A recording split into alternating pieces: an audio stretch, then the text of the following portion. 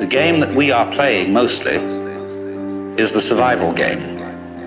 That is to say, the game ought to go on.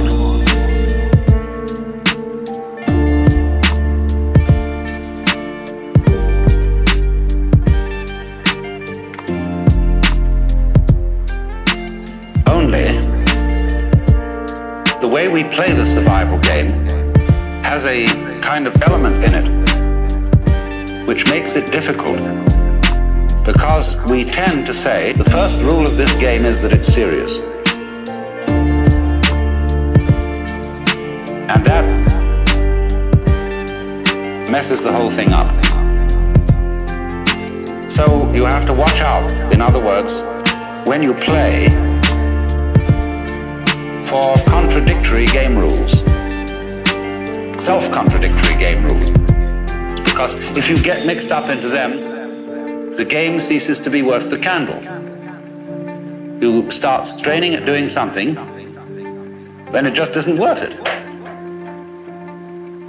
Then the second thing that we observed was the web as an analogy of mutual interdependence. We could call it the idea that all existence is relative, that all existence is transaction the transaction being typically exemplified by, say, the operation of buying and selling, in which there can be no buying without somebody selling, and there can be no selling without somebody else buying.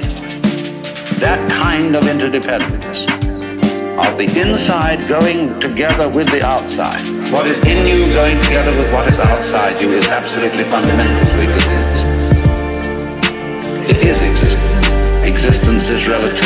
Existence is relativity. Existence is relativity. What is in you going together with what is outside you is absolutely fundamental existence. It is existence. Existence is relativity. Existence is relativity. Existence is relativity.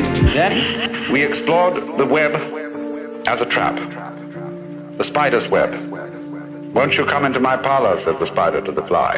And we saw what would look at all of life from the point of view that it is original selfishness and original hunger.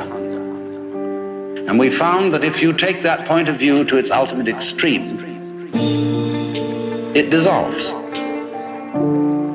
And